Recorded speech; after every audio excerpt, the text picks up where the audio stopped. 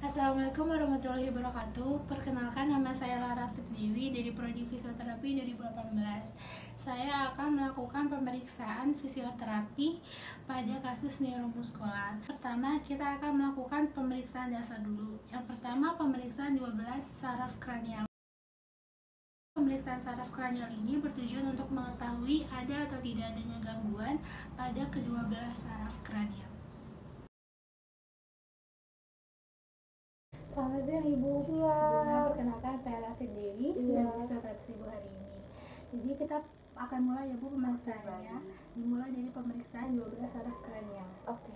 Oke, yang pertama kita akan melakukan pemeriksaan olfaktorius. Oke. Di mana pemeriksaan ini bertujuan untuk mengetahui seberapa tajam penghirupan Ibu terhadap bau-bau yang nanti saya akan berikan. Oke. Oke.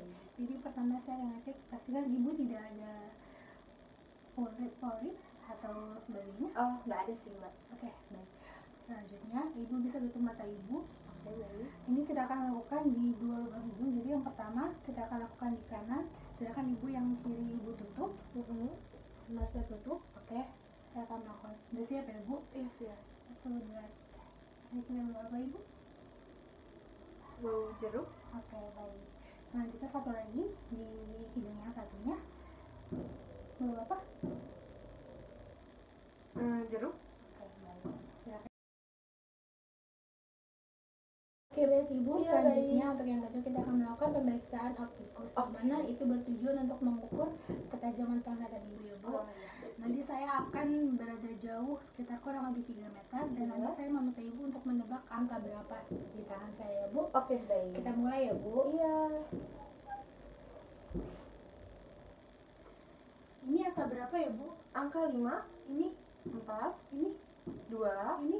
0, 1. Oke selanjutnya kita akan melakukan pemeriksaan selanjutnya yang namanya pemeriksaan okulomotoris. Oke di mana baik. itu bertujuan untuk mengetahui apakah ada kelainan apa tidak di bola mata ibu ya bu. Oh iya.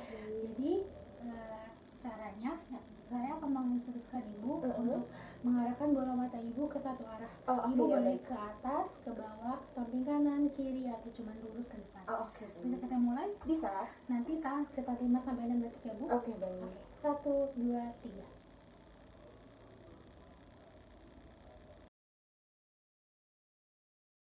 Selanjutnya pemeriksaan keempat kita akan melakukan yang namanya pemeriksaan trochlea- trochlearis Oke. di mana itu kita akan mengetahui kondisi kelopak mata ibu apakah terjatuh atau lain sebagainya ketika menatap kepada satu arah Oh iya. bisa kita mulai dari sekarang Bisa. caranya hampir sama kayak yang sebelumnya Oh, Oke kita baik. mulai ya Iya. satu dua tiga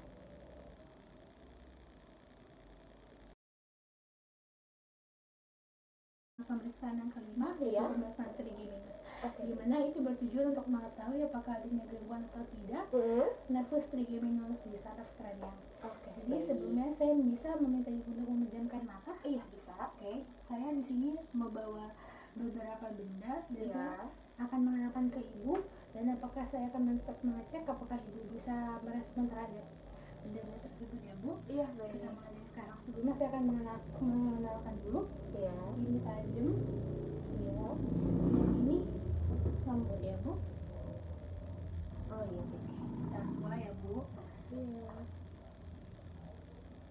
Tajam apa halus? Tajam. Halus. Oke. Tajam. Oke. Halus. Oke. Tajam. Oke. Baik, Ibu sudah selesai, silakan dibuka matanya. Oke, selanjutnya di tahap pemeriksaan trigeminus ada yang namanya pemeriksaan refleks kornea ya. Oke. Kita akan menggunakan media tisu. Bisa kita mulai? Bisa. Satu, dua, tiga, maaf ya, Bu. Iya silahkan. Oke, selanjutnya kita akan melakukan pemeriksaan namanya pemeriksaan Masseter di mana itu bertujuan untuk mengetahui apakah ada atau tidak adanya gangguan Iya. nervus Masseter di nervus trigeminus ya, baik. Oke, jadi saya bisa minta ibu untuk membuka sedikit mulutnya. Oke, seperti ibu biasa aja. Oke. Oke, selanjutnya kita akan menggunakan media hammer ya bu. Oke. Bisa kita mulai? Hmm. Satu, dua, tiga.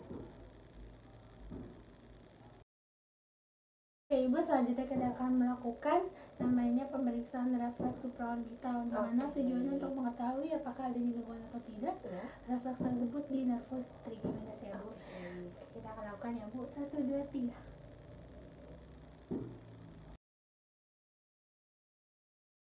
Oke, selanjutnya di Iya. pemeriksaan terakhir untuk bagian nervus trigeminus, Iya. kita akan melakukan namanya pemeriksaan refleks motorik. Iya. Oke Ibu, jadi saya minta untuk Ibu menutup mulutnya Ibu.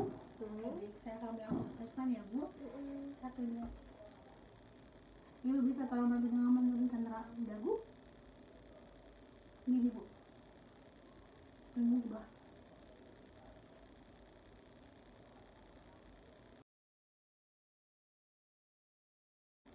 Oke, selanjutnya kita Iya. akan ke masuk ke pemeriksaan nervus selanjutnya yaitu Iya. pemeriksaan nervus abducens ya Bu. Oke. Jadi kita akan menggunakan media pulpen Oke. untuk pemeriksaan ini ya Bu. Iya. Jadi saya akan taruh pulpen di sini. Iya. Saya akan melakukan fiksasi di bagian dagu ibu untuk menahan kepala ibu. Iya. Jadi nanti saya akan menginstruksikan ibu untuk Hmm. melihat pulpen ini, tapi tidak dengan kepala ibu, Oke. hanya dengan bola mata.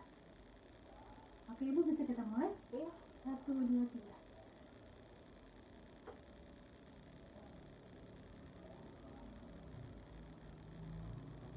Oke, saya melakukan pemeriksaan tersebut, apakah ibu melihat bayang-bayangan? Iya. benar. Oke ibu, untuk selanjutnya saya akan melakukan pemeriksaan nervus facialis ya bu. Oke baik. Di mana kita melakukan pemeriksaan tersebut untuk mengetahui apakah ada atau tidak adanya gangguan nervus facialis di saraf kranial ya bu. Oke, baik. Jadi saya akan menginstruksikan kepada ibu untuk melakukan empat gerakan. Iya. Yang pertama saya minta ibu untuk menutup bibir mulut ibu dan Hmm. mengangkat alis ibu. Satu Mhm. dua. Bisa ibu mulai mengangkat alis ya bu. Oke baik. Yang kedua saya minta ibu untuk menutup mata ibu.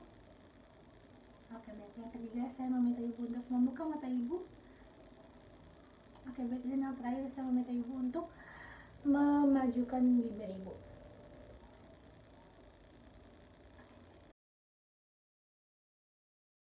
Selanjutnya di pemeriksaan nervus facialis kita akan melakukan namanya pemeriksaan sensoris ya bu. Hmm. Saya meminta ibu untuk menjulurkan lidah ibu. Nanti saya akan memberikan media garam sama gula ya bu. Oke untuk mengetahui seberapa tajam deteksi. Bisa kita mulai bu? Oke, Saya silakan. akan menjulurkan anda. Oke baik. Dua per tiganya. Oke baik. Ibu bisa merasakan itu apa rasanya? Manis.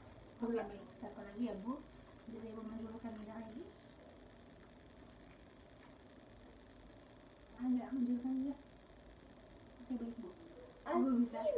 Rasanya Bu? Oke baik Ibu. Oke selanjutnya kita akan melakukan pemeriksaan nervus vestibulocularis ya Bu. Oke Di baik. mana kita melakukan pemeriksaan tersebut untuk mengetahui apakah adanya gangguan atau tidak Iya. nervus vestibulococlearis di saraf kranial ya Bu. Oke. Jadi yang pertama kita akan melakukan yang namanya tes bisik. Iya. Jadi nanti saya akan berada jauh dari ibu dan saya akan mem- saya akan membisikkan dua buah kata dan ibu harus tebak ya Bu. Oke baik. Kita mulai ya Bu. Iya silakan. Oke baik ya Bu, siap-siap mendengarkan ya Bu. Iya. Satu, dua, tiga. Fisioterapi Indonesia. Oke baik yang kedua. Pasien anak. Oke baik yang ketiga. Rumah sakit Bunda. Oke. Oke, di pemeriksaan nervus vestibulococlearis ini yang kedua Iya. kita akan melakukan namanya pemeriksaan arloji ya Bu. Oke. Di mana saya akan melakukan media jam arloji ini Iya. dan nanti saya akan menjauhkan jam ini dan apakah ibu mendengarkan bunyi detikan ketukan detik yang ada di jam ini ya Bu? Oh iya. Kita kita mulai ya Bu. Iya. Satu dua tiga. Apakah kedengaran Bu? Iya. Oke baik. Selanjutnya satunya, apakah kedengaran bu? Hmm, Sini, apakah kedengaran bu? Iya.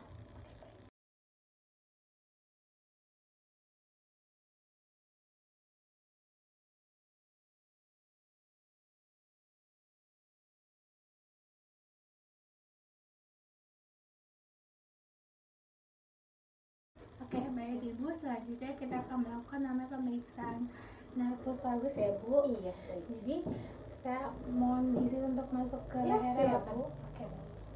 Bisa kita mulai ya bu. Iya. Satu dua tiga. Satu lagi ya bu. Satu dua tiga. Selanjutnya kita akan melakukan namanya pemeriksaan nervus aksesoris ya bu. Oke, Jadi baik. saya mohon izin juga untuk masuk ke ibu. Iya. Jadi saya minta ibu untuk menengok ke arah ke kiri ya bu. Satu dua tiga. Sana. Oke baik sekali lagi ya bu. Ibu menengok ke sebelah. Satu dua tiga. Oke baik. Selanjutnya saya izin untuk belakang ibu. Jadi ibu tetap di posisi itu. Iya. Jadi ibu nanti saya minta untuk eh, mengangkat pundak ibu ya bu. Iya. Satu, dua, pundaknya aja ya. Iya. Satu, dua, tiga. Oke, kita masuk ke pemeriksaan terakhir. Namanya pemeriksaan nervus hipoglossus ya bu. Oke. Saya minta ibu untuk menjulurkan dada ibu ya bu. Satu, dua, tiga. Baik, yang paling full bisa dibuka mulutnya juga. Lagi. Oke, baik. 你们来吃。